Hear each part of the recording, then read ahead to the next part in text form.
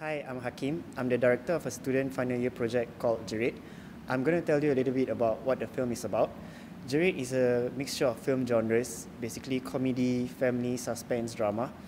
Uh, it's kind of quirky in a comedic way. It's a tale about a teenage girl named Mila who practically screams at everything and anything, uh, basically for attention. Mila has been living without her mother since young and has been the attention of her father. Ever since her father married a new wife, Mila had to deal with the fact that she has a new additional family member, Hafiz, supposedly to be her step sibling. Still grieving with the loss of her mother due to a tragic event and not getting the attention she gets from her father as before, her hatred for her new family grew into siblings' rivalry. She becomes more temperamental and constantly shows bad attitude towards not just her step sibling, but her father too.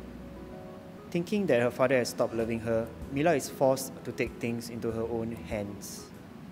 She decided to seek revenge on her stepbrother, where her plans for revenge eventually went wrong, therefore causing chaos between the step siblings. Jerit is basically a short film on the subject of siblings rivalry. It poses to tell viewers on the kind of effects that it can cause to a child, be it a 7 year old, 18, or even a 21 year old. As this is a student final year project, we hope that we can get funds to help to contribute to our daily production needs and the success of this film. Despite the intense suspense, we hope that this film can engage you and at the same time entertain you guys.